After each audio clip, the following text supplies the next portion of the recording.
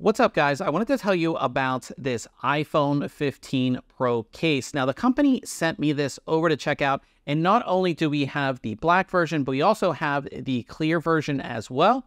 So let's go ahead and take a look. In the box, of course, you're going to get the cases themselves, but also you get this set of buttons as well. So you can actually replace the buttons that are on the cases themselves with these ones. So for the black case, you're going to get some red, orange, and yellow buttons. And then for the clear case, you will get some gray and orange buttons.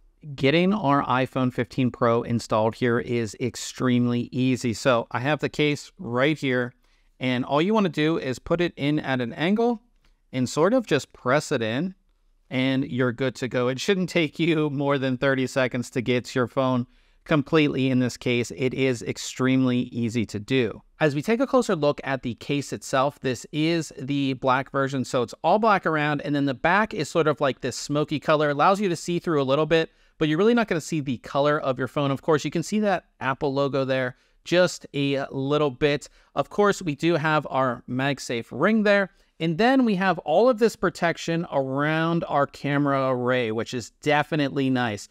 These new cameras have, or these new phones have these massive camera bumps.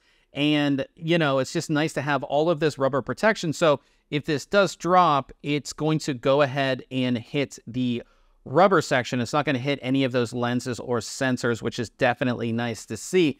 The new action button is available. As you can see right here, they have installed a real button right there. So you have that. And then on the bottom, you do have full access to the Type-C port. It's also worth noting that the rubber goes all the way around the edges. So it doesn't sit on the edges. It goes around the edge of the glass, which is really nice again. So if you do drop this on the corner, it's going to hit that. It's not going to hit that glass. Now taking a look at the clear version of the case, this is really going to show off the colors of your iPhone 15 Pro. So as you can see, I have the blue version of the phone and this just looks awesome sitting in this case. Of course, we can see the colors of the phone there. We can see the Apple logo. The MagSafe ring is going to be white there, as you can see. And we still get all the same protections as the other versions of the case as well. So protection, of course, around all of your cameras and, and sensors and everything like that.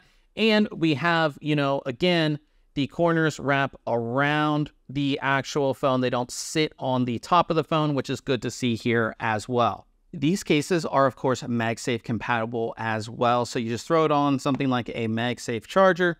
It's going to plug in and it's going to start charging and it's not going anywhere, which is really great as well. So if you are looking for a new iPhone 15 Pro case, these are ones that I would definitely recommend.